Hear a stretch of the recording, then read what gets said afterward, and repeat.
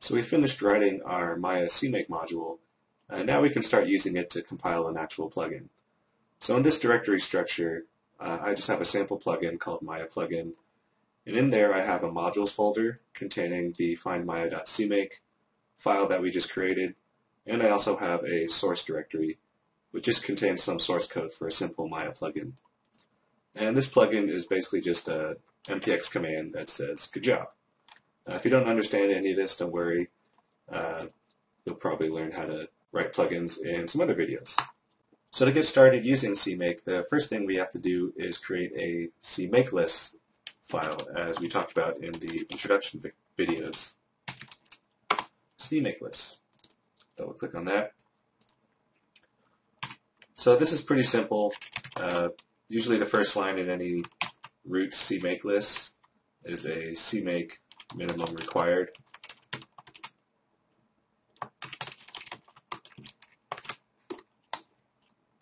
Minimum.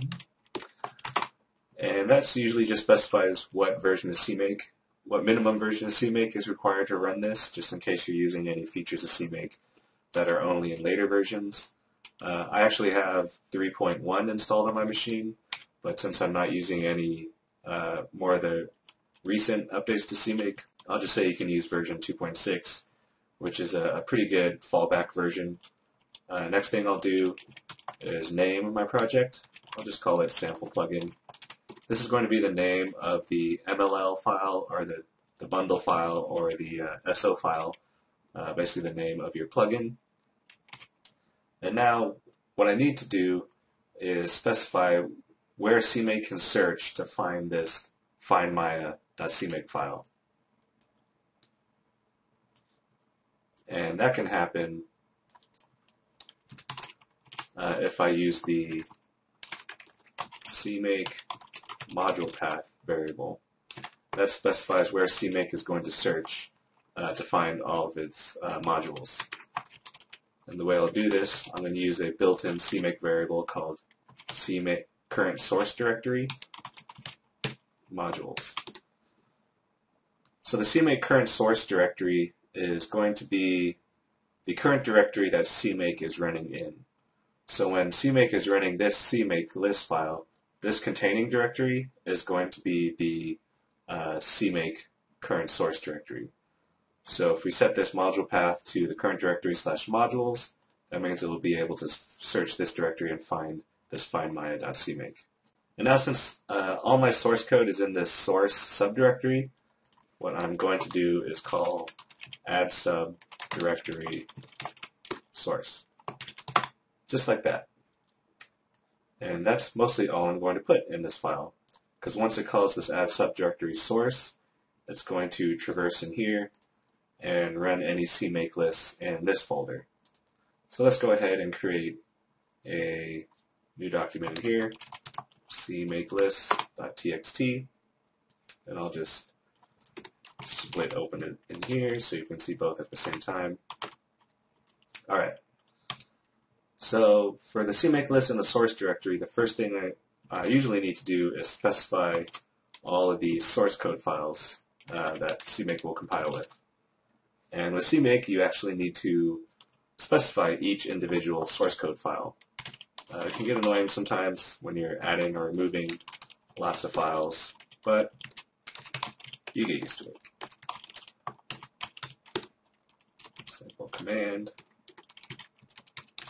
sample command.h. So I basically just listed all three of my source files in there. The next thing I'm going to do is actually call my find Maya CMake module with the find package function. So I specify which package I want to find, Maya. So remember in here, this is called Maya. So this text right here has to match what you're searching for. And this optional keyword required means that if Maya is not found, CMake will fail.